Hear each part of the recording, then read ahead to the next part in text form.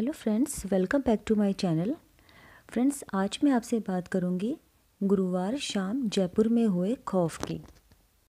गुरुवार शाम चार बजे बघेरा मोती डोंगरी सर्किल से टोंक रोड के बीच मकान दुकान गार्डन होटल परिसर से एसएमएस स्कूल तक पहुँच गया। देखिए वीडियो देखिए।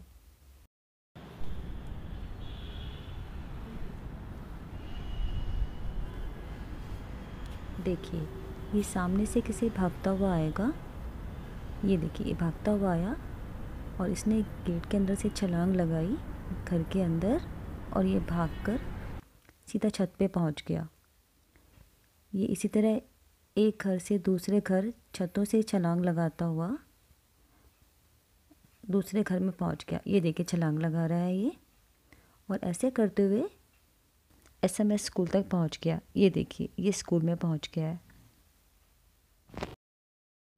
और गनीमत तो ये है कि उस टाइम शाम के चार बज गए थे और स्कूल की छुट्टी हो चुकी थी। ऐसा किसी को कोई नुकसान नहीं पहुँचाया इसने, बट अभी ये पकड़ में आ गया है।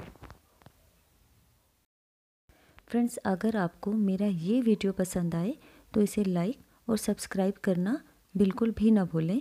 धन्यवाद।